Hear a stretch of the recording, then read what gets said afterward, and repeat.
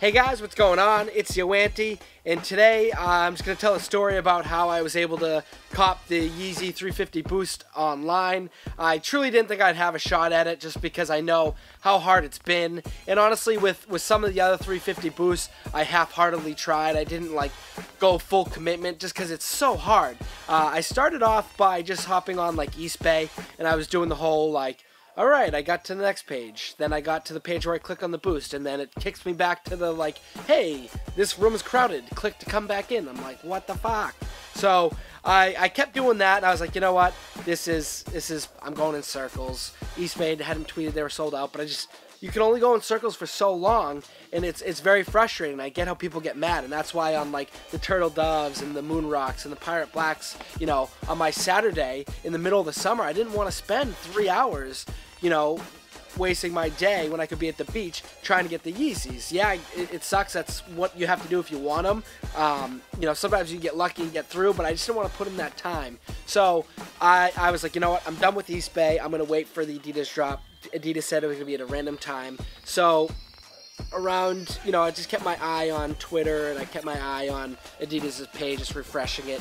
And around like 11, I had a meeting at work. So I was like, oh, hopefully they don't drop at 11. And sure enough, they do. So I go into the meeting at work and I have my phone on me. And kind of before the meeting starts, I was like, I'm going to open up Adidas site and just go to like the Yeezy page to see what it looks like on mobile. So I click click, you know, Yeezy. I search Yeezy, and all of a sudden, just uh, at about 11:03, automatically pops up. You're now waiting in line. I was like, whoa, whoa.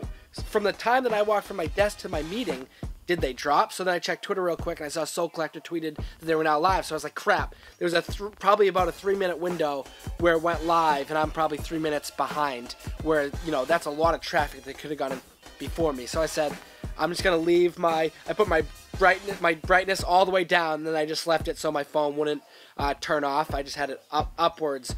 So my screen wouldn't lock and it would just continue, the wheel continued to spin. I wasn't on Wi-Fi, I was on LTE, and I was like, maybe sneaky, like being on mobile will help. So 30 minutes go by, go by, meeting's over. I walk back to my desk. I'm still looking at it. I'm like, all right, it's still in line. So I'm like, I'm just gonna leave it. I'm just gonna leave it and like pretend it's not there. And about about maybe about 11:35, I look down and it's like select your size. I'm like, holy shit.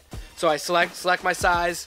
I add to cart and it's like check out. I'm like, okay. I'm like, wait. I'm like, come on, cart jack me, kick me out. What's going on? This shouldn't be happening.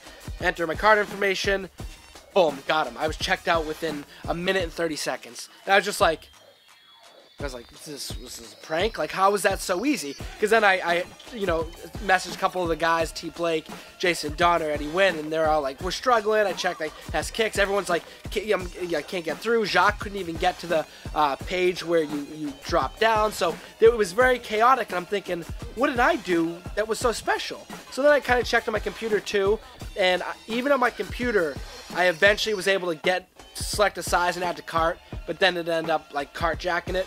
So I don't know if there's any rhyme or reason. I, I just it's too frustrating. But maybe just to keep in mind, mobile on LTE worked for me. Don't know why.